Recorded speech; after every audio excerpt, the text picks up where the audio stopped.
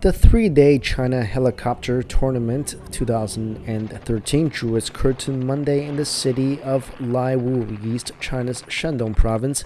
Over 20 domestic helicopter pilots competed in this three day event on six items.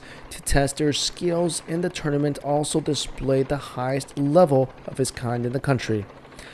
As a highlight to the event, the performance of opening beer bottles by helicopters attracted many attention. According to the workers on the spot, the beer bottle was fixed at the top of a surveyor's pole two meters from the ground, and a bottle opener was tied to the end of the helicopter's skid on the right side.